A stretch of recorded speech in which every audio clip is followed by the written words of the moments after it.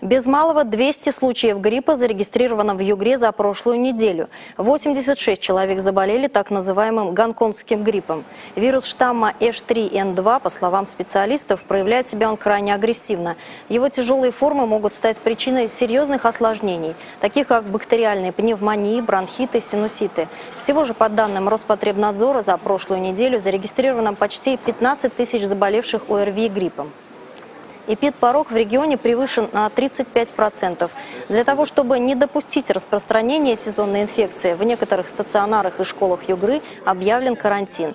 Специалисты, специалисты вместе с тем рекомендуют внимательнее относиться к своему здоровью. Потеплело на улице, то есть люди стали чаще встречаться, дети стали э, больше гулять на улице, опять же общаться и э, передавать друг другу эти острые вирусные заболевания. Поэтому, когда мы видим подъем заболеваний, мы рекомендуем не посещать э, организованные какие-то места, не ходить в кино, не ходить в кафе, чаще мыть руки с мылом, не прикасаться грязными руками к лицу, к носу, использовать средства защиты.